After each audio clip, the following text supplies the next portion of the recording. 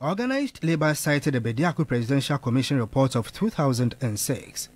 In that report, it proposed the setting up of a three-tier pension system. It also suggested setting up the National Pensions Regulatory Authority (NPRA). But the regulator has been too laid back due to the ongoing happenings at SSNIT. In 2006, the government wants people on the Presidential Commission also cited SSNIT for inefficiency and administrative cost. Due to that, Labour is of the view that workers should take hold and manage pension funds. The chairman of the forum, Isaac Bampoe Addo, has proposed an immediate review of the Pension Act. He said the review should include a restructuring of SSNIT. The law must be changed immediately, and that's what we should fight for. All this noise that is going on, if the law does not change, then we should forget. The law must be changed for workers to be in charge of state.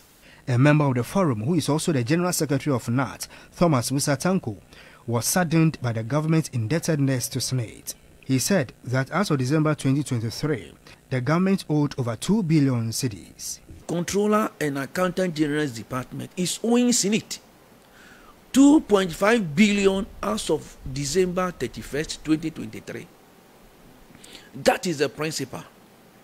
If you slap that 3% or whatever it takes on it, the figure will be heading towards 9 to 10 billion.